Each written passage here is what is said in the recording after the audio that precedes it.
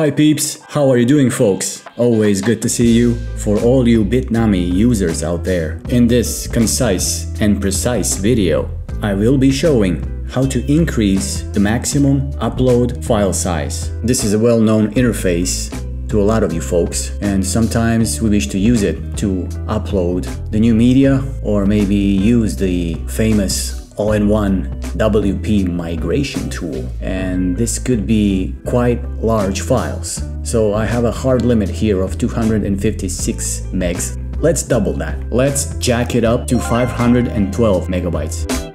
We need to navigate to the default Bitnami installation folder. Mine is here. What we're looking for is the php.ini file. Double click to open. In your favorite text editor, Search for two lines, the post max size and the upload max file size. Enter the desired 512 megabytes value. Don't forget to save the changes.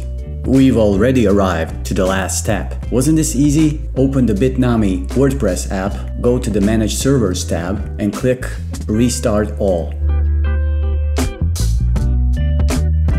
Awesome! Did we achieve our goal? Well, let's check. Go to your WordPress dashboard. We've been automatically signed out, so log back in.